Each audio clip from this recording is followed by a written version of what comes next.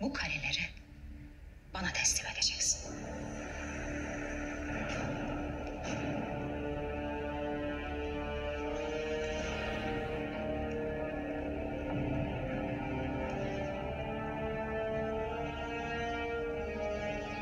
Ve bu hisarların tüm ticari vergileri Bizans'ta kalacak. Kervanlar da Konstantinopoli ile çalışacak. Aynı şey Söğüt ve Yenişehir için de geçerli. Zaten anlaşma yaptıktan sonra elinizde bir tek bunlar kalacak.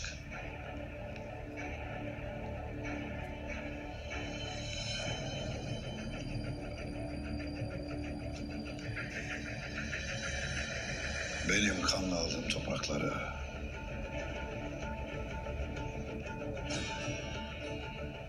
kağıt üstünde vermemi istersiniz.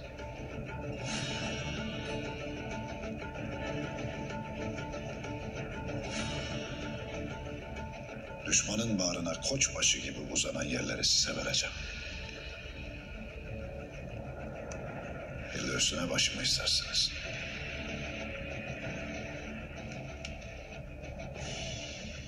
Yo, Biz anlaşmanın şartlarını güzel bir dille belirttik. Osman Bey. 10 bin atlı yeni şehire girmek üzere hazır. Senin kararını beklemekte. Beni buna mecbur bırakma. Bin şövalye ve beş bin piyade de benden emir bekliyor. Osman Bey, biz sulh için buradayız. Lütfen siz kan istemeyin.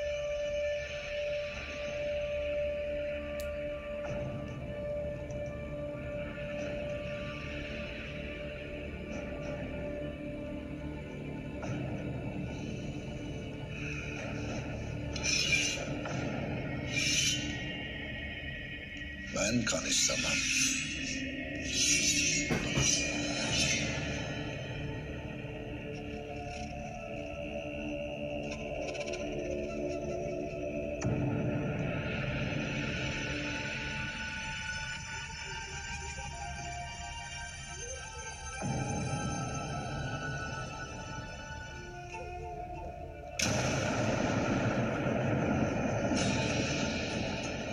Ben kanla beslenmem.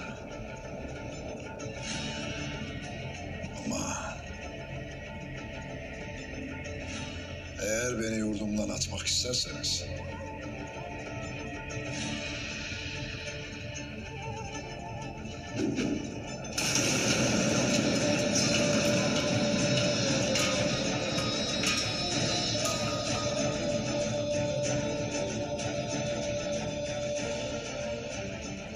ortada bir yurt komam.